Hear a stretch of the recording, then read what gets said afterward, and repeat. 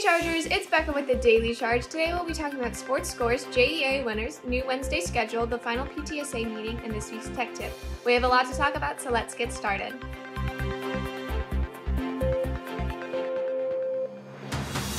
DP's boys volleyball team had an away game against Santa Ynez and won with a final score of 3 to 0. Our baseball team won against St. Bonaventure in a home game with a final score of 8 to 3.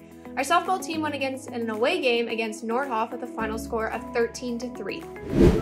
Some students here at DP won award for the National Journalism Education Association, JEA.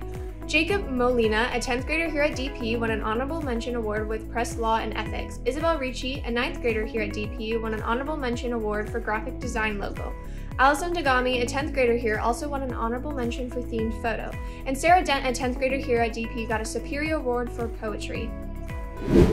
Tomorrow we will be the first day with the new Wednesday schedule. For more information, check your student square. Tonight at 6.30, the last PTSA meeting will be happening. For more information, also go to Student Square. Today is Tech Tip Tuesday, so here's this week's tip.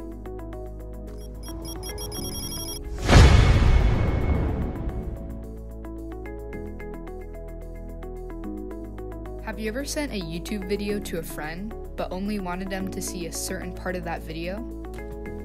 If so, there's actually a very easy way to start sending YouTube videos at a precise point. When you have a precise point of the video you want to send, click the share button under the YouTube video. Then check that little box at the bottom of the pull up, and you can now enter the precise time of the YouTube video you want to send. Once you've entered your time, you can press the copy button to copy the link of that YouTube video it is now ready to send to a friend. Just copy and paste it into your chat, and it will be able to be opened up by whoever's receiving that message. That's all for today, Chargers, so make sure to check out our other social media accounts and have a great Tuesday.